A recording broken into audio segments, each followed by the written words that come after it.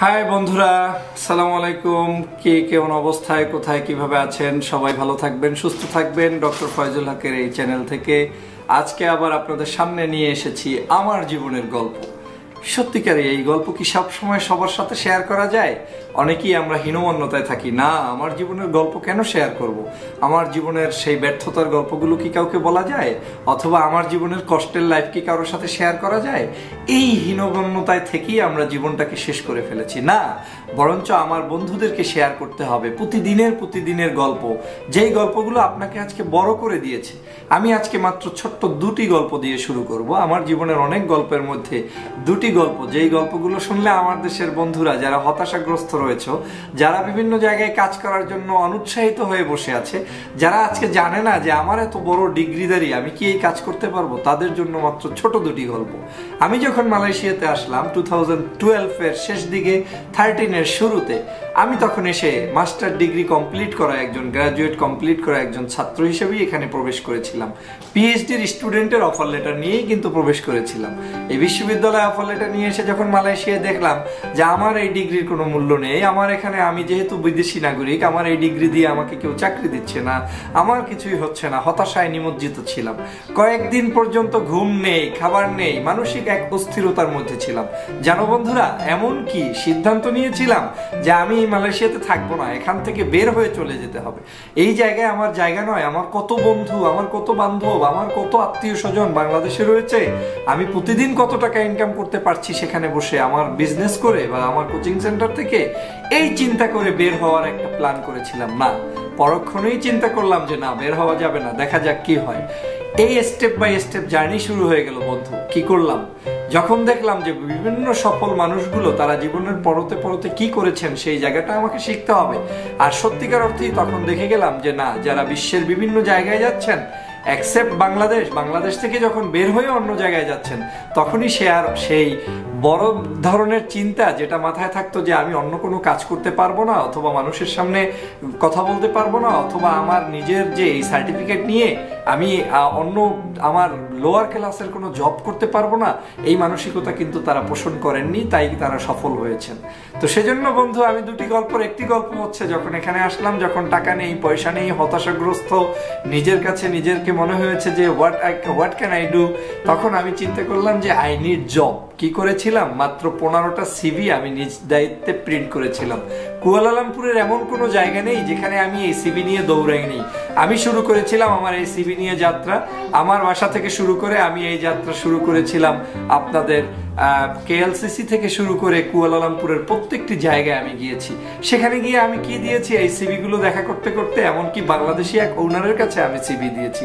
কি শুনবেন সেই গল্পটি? গল্পটি হচ্ছে ওই সিবিটির মধ্য থেকে মাত্র দুজনে আমাকে কল দিয়েছিল। নাম্বার ওয়ান একজন কল দিয়েছিল, বাংলাদেশের একজন রেস্টুরেন্টের মালিক, যিনি আমাকে বললেন যে, তুমি আসো ইন্টারভিউ দিতে। সত্যিকার অর্থে আমি জানি না যে রেস্টুরেন্টে আসলে কোন ড্রেসে যেতে হয়? আমি তো সেই আমার সুটেড বুটেট নিয়ে তারপরে সেই রেস্টুরেন্টে চলে গেলাম। বাংলাদেশি নাগরিক বললেন, আপনি কি চাকরি করবেন? আপনার এখানে প্লেট ধুতে হবে, হাত ধুতে হবে থাল ধুতে হবে, টেবিল মুছতে হবে, ফ্লোর মুছতে হবে, টয়লেট পরিষ্কার করতে হবে।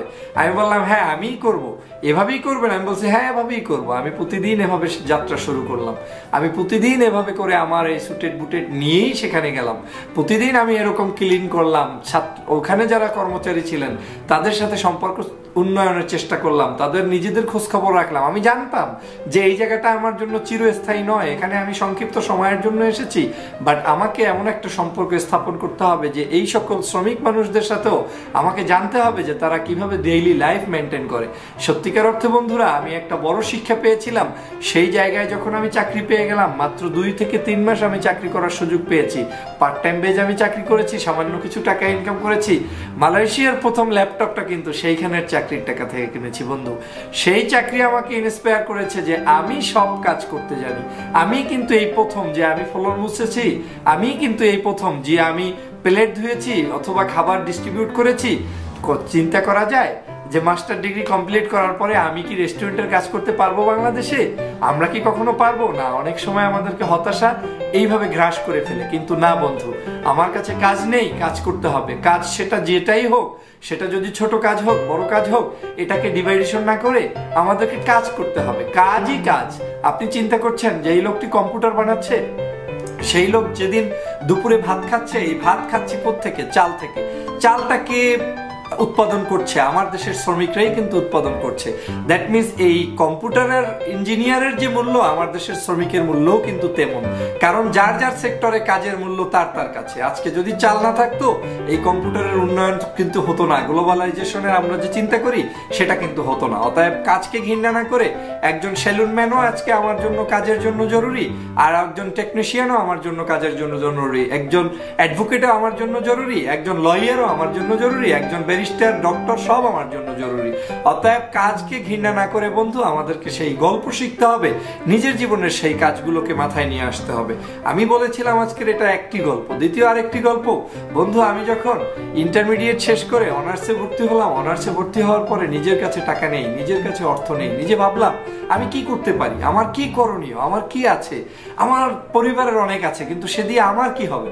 কিন্তু ছাত্র জীবনেই শুরু করলাম নিজের ক্রয়কৃত, জমানোকৃত পঞ্চাশ হাজার টাকা দিয়ে একটি বিজনেস যেটা ছিল একটা কোচিং সেন্টার কিন্তু বিশ্বাস করো বন্ধুরা, এই কোচিং সেন্টারটি বিজনেস করতে গিয়ে আমি যে লার্নিংটা পেয়েছি, সেটা হচ্ছে আমার জীবনের সবচেয়ে বড় লার্নিং আমার জীবনে অনেকগুলো লার্নিং পয়েন্ট আমি এখানে শেয়ার করব এই চ্যানেলে তবে আজকের এই ছোট্ট ভিডিওতে শুধু এই কথাটিই বলব, সেই যে একদিন বিজনেস শুরু করেছিলাম, আজ পর্যন্ত কিন্তু এই ডিগ্রি নেওয়ার পরেও এখনও বিজনেসম্যান হিসেবেই টুকটাক করে যাচ্ছি।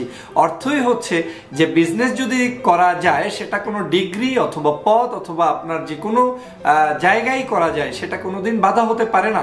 সেজন্যই আমি বলছি যে আমাদের এই ছোট্ট গল্পগুলো নিজেকে শেয়ার করতে হবে। আজকে ওই রেস্টুরেন্টের মালিক আমার কাছে চিরজীবন জীর্ণী হয়ে থাকব। কারণ এই রেস্টুরেন্টের মালিক থেকেই কিন্তু আমি এই মালয়েশিয়ার ল্যাপটপ ক্রয় করেছিলাম। আজকে সেই রেস্টুরেন্টের মালিক আমাকে চাকরি না দিলে আমি কি করতে পারতাম? আমার এই চাকরিটা ছিল এমন একটা চাকরি, যেই চাকরিটায় আমি যাওয়ার জন্য নিজের একটা গাড়ি ছিল না। নিজের একটা ভালো পরিবহন ছিল না। একটা মোটর সাইকেল ছিল বন্ধুরা, তোমরা জানো? সেই মোটর সাইকেলটা পনেরো বার কিক দিয়ে তারপরে স্টার্ট নিতে হতো। এই স্টার্টিং লাইফ ছিল এভাবে। কিন্তু আজকে কি আমার গাড়ি নেই? অবশ্যই আছে। কিন্তু এটা হওয়ার জন্য ধৈর্য এবং ত্যাগ এবং নিজের ইচ্ছা থাকতে হবে, সদ ইচ্ছা থাকতে হবে।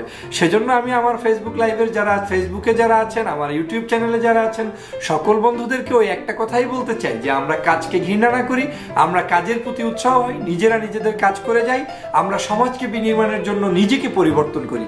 বন্ধু কখনো ভেবেছেন আপনি যে হাতের ময়লাটি ফেলে যাচ্ছেন রাস্তায় আর ভাবছেন যে এই দেশটা সুন্দর হলো না, এই দেশের ময়লাকেই পরিষ্কার করবে। ময়লাটা আপনি ফেলছেন বিদায় কেউ আর পরিষ্কার করতে পারছে না। কিন্তু যখন you should know your self that what you need to do আপনার কি করা উচিত এটা যখন আপনি জানবেন, তখন কিন্তু এই ময়লাটা আপনি ডাস্টবিনে ফেলবেন। আর যখনই আপনি ডাস্টবিনে ফেলবেন, প্রতিনিয়ত আপনার মতো হাজারো মানুষ তৈরি হবে যারা এটা ময়লাটা ডাস্টবিনে ফেলবে। একদিন বাংলাদেশ নামক এই রাষ্ট্রটি সুন্দর একটি রাষ্ট্রে পরিণত হবে। সেজন্য আমি বলছি, কাজকে ঘৃণা নয়, কাজ করতে হবে। সেজন্য আমি বলছি, যে কোনো কাজ আমার অভ্যাসে পরিণত করতে হবে। সেজন্য আমি বলছি, বিশ্বের বড় বড় ভালো রাষ্ট্রগুলোকে মডেল হিসেবে উদাহরণ না দিয়ে বরঞ্চ ওই ভালো রাষ্ট্রগুলোর মডেলগুলোকে নিজের ভিতরে গ্রো করার চেষ্টা করি, নিজেরা নিজেদের মধ্যে প্র্যাকটিস করার চেষ্টা করি। যদি সত্যিকার অর্থে আমরা সেই প্র্যাকটিস করতে পারি, তাহলেই কিন্তু আমি সফল হতে পারব। বড় বড় সফল মানুষদের গল্প শুনছেন, তারা কি করছে? সবার আগে নিজের সুশৃঙ্খল হচ্ছে, তার টাইম ম্যানেজমেন্ট সুন্দর হচ্ছে, তার গল্পগুলো সুন্দর হচ্ছে, প্রতিদিন জীবনটায় তার এমন এমন কিছু গল্প রয়েছে যে গল্পগুলো শুনলে আপনি আত্রে উঠবেন। তার ফ্যামিলিকে সে সময় দিচ্ছে, তার আত্মীয় স্বজনকে ভালোবাসছে, সে নিজে টাকা অপচয় না করে সুন্দর মতো একটি সুন্দর লাইফ ম্যানেজ করছে, সেজন্য আমি বলব, আজকে যারা যারা আমার এই ইউটিউব চ্যানেলে সাবস্ক্রাইব করেছেন বা করবেন, সবার জন্য একটাই অনুরোধ, আমরা হতাশ হব না। আমরা নিজেরা কোনো জায়গায় ভেঙে পড়ব না। আমরা কখনোই আমাদের নিজেদের গল্পকে লুকিয়ে রাখব না। আজকে যেভাবে আমি আপনাদের সামনে গল্পটি শেয়ার করলাম, আপনাকেও শেয়ার করতে হবে। কারণ এমনও হতে পারে আপনার একটি অজানা গল্পই অন্য মানুষের জীবনের পরিবর্তন এনে দিতে পারে। আপনি কি সেটা চান না? অবশ্যই আপনি চান। মানুষের ভালো চাওয়া, এটা একটি ভালো মানুষের কাজ। আর সেজন্যই আমাদের কি করতে হবে? আমাদেরকে মানুষের ভালোবাসা পেতে হলে মানুষের ভালো চাওয়া চেতে হবে। আপনি একটা জিনিস মনে রাখবেন, যে ভালো যদি কখনোই কারও চান, আপনি কখনো ঠকবেন না। আপনি যা আছেন তাই থাকবেন, বরঞ্চ অন্য মানুষটাও আপনার থেকে কিছু পেয়ে গেল। আর যদি আপনি একার মতোই একা থাকতে চান, আমার সমাজটা কিন্তু অবহেলিত থেকে গেল। অতএব আসুন, আমি যা শিখছি আর একজনকে শেখানোর চেষ্টা করি। আমি যে কষ্টগুলো করেছি আর একজনকে সেই কষ্টগুলো বলার চেষ্টা করি। আমি যে জীবনে অনেক কঠিন পরিস্থিতির শিকার হয়েছি, সেগুলো আরেকজনকে বলে বলে তাকেও একজন শক্ত নাগরিক হিসেবে তৈরি করি। আর সেটা যখন সম্ভব হবে তখনই পরিবর্তন হবে। আসুন বন্ধুরা, ইউটিউব চ্যানেল কি শুধুমাত্র আমাদের ইনকাম করার জন্য অথবা নিজেকে ভালো প্রতিষ্ঠিত করার জন্য, পরিচিত করার জন্য? না। আজকের আমাদের এই ইউটিউব চ্যানেলগুলো হোক আজকে সমাজ পরিবর্তনের জন্য, আমাদের এই ইউটিউব চ্যানেলগুলো হোক, মানুষের মধ্যে বিকাশ করানোর জন্য, আমাদের ইউটিউব চ্যানেলগুলো হোক, আপনার জীবনের উন্নতি ঘটানোর জন্য। সেজন্যই doctor Faizul Haque daily live নিয়ে আসছে আপনাদের সামনে বিভিন্ন ধরনের প্যাকেজ, বিভিন্ন ধরনের প্রোগ্রাম, ছোট ছোট ভিডিও, ছোট ছোট লাইফ স্টাইল এবং আমার জীবনের ব্লগিংগুলো আপনাদের সাথে শেয়ার করছি। শুধু একটি কারণ, সেটি হচ্ছে যদি একটা ভিডিও আপনার জীবনকে পরিবর্তন করে দিতে পারে, অতএব আসুন সবাই শেষ করার আগে আপনাদেরকে বলছি, আপনারা সবাই মিলে আমার এই চ্যানেলটিকে সাবস্ক্রাইব করুন, নিজেদের বন্ধুদের মধ্যে প্রচার করুন এবং আপনিও সংযুক্ত থাকুন, দৈনিক একটি একটি ভিডিও দেখার চেষ্টা করুন। আল্লাহ আমাদেরকে সফল মানুষ হিসেবে কবুল করুক। আমিন।